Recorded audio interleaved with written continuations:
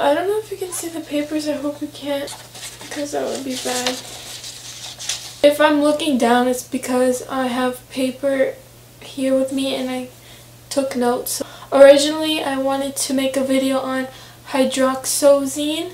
I think I'm saying that right. It's anxiety pills, but I did it because I I just realized that I haven't been on the medication long enough to review it. I didn't get to do a review on the medication like I did with olanzapine or olanzapine, whatever you want to call it. Instead, I made a video on my depression. I hope this video isn't too sad. I don't want to talk about something that's going to make me sad, but I didn't really have anything else I wanted to talk about. I'm going to be talking about my depression and if you would like to hear about this video then please keep watching and if this video is not for you then obviously you can click off. In today's video I talk about my depression at 11 years old and when I say this I mean I was 11 five years ago and now I'm 16. I'm going to be talking about uh, my depression in the past. I'm going to be telling you when it first started happening to me, my depression. So let's start. So my depression started like when I was around when I was 11 and 12 years old. So that's when it first started happening. So that was five years ago.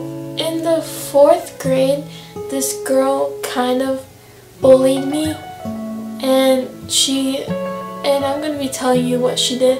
So what she did was she made fun of my nose and she also would step on my shoes. For being like 11, that made me feel sad. You're probably thinking like, what is wrong with my nose?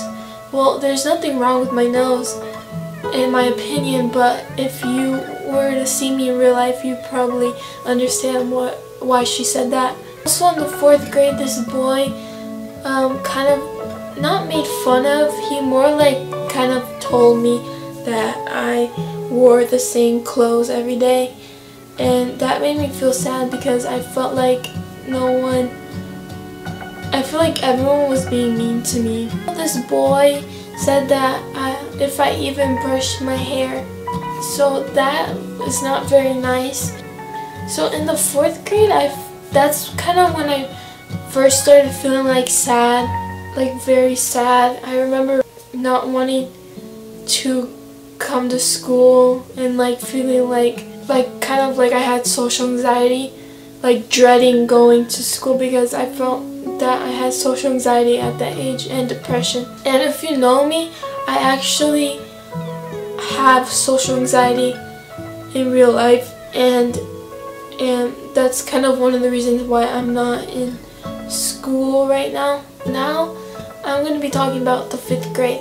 Okay, so now in the 5th grade is when my depression really started. Oh my god, there's a plane passing and I really can't hear what I'm saying. There was this really mean office lady and I would always go late to school every day. Okay, so this lady, I would have to see her every day because I was always late and I was always late because I lived one city away from the school and so every morning I would have to drive to that city where that school was just to go to school. And she was one of the reasons I was also depressed because this one time the lady, when I went into her office, I went there because I was sick mentally and I wanted to call my mom on the office phone because at the time I didn't have a phone.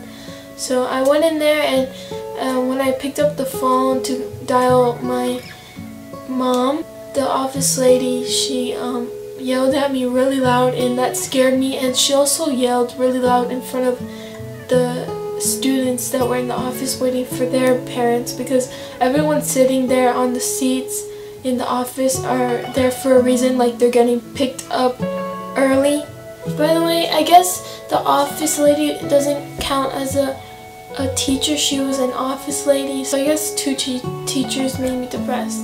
So this other teacher, um, she was my main teacher and she would always give me detention. Not always, she gave me detention twice because if you don't do your homework and you don't turn it in, that she gives you um, detention. And that obviously made me sad because I felt left out and I felt lonely because I had to be in detention at lunchtime slash recess.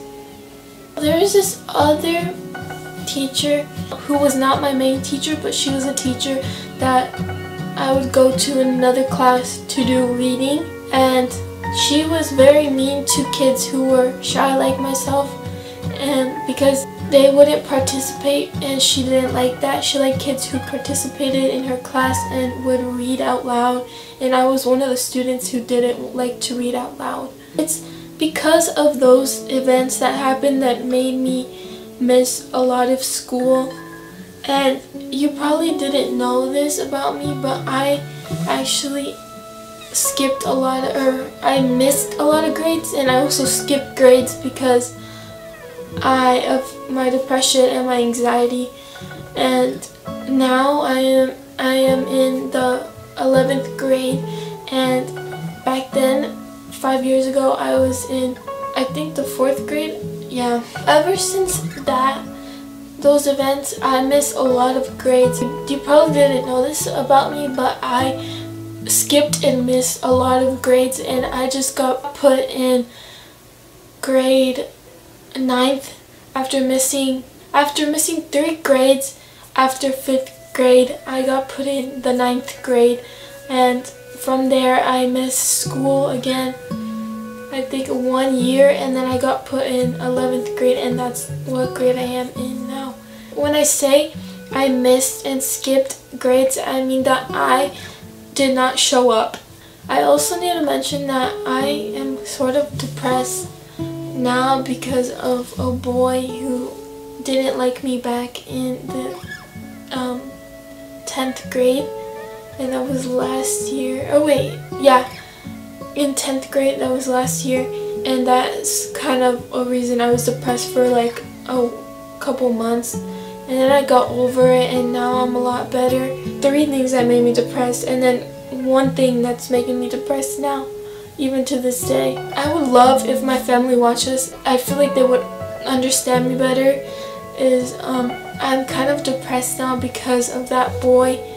Because I just feel like I wasn't good enough and all that kind of stuff. Now I'm going to be telling you how I'm doing at the moment right now. How I'm doing now five years later. Also, if I wasn't clear enough, I'm 16 years old now and I was 11 at the time when I first became depressed.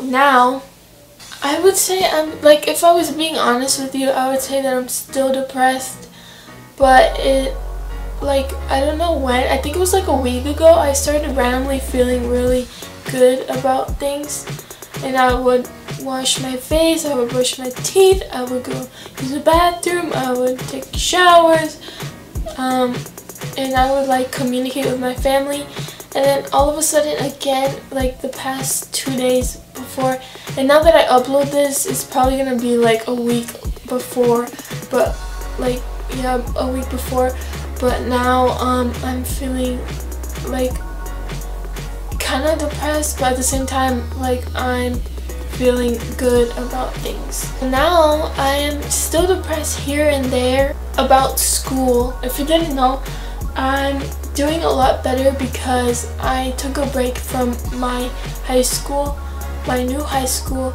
because I was really anxious a lot all the time and it was hard for me to be around um, other students and teachers and so that's why I've been taking like a two to three week break from school. You're probably wondering why and let me just tell you why. If I was going to be honest with you, I suffer from bipolar disorder, psychotic features, and um, social anxiety. And, and before you are quick to judge if you are a hater, let me just say that I got diagnosed with those things, so I'm not self-diagnosing. I try to do exercise um, every week, at least three times a week, and sometimes I can't always go three times a week, but at least I'm moving, and supposedly exercise is good for your brain and it gives you chemicals that make you feel happy after you exercise, I think. Also, ah,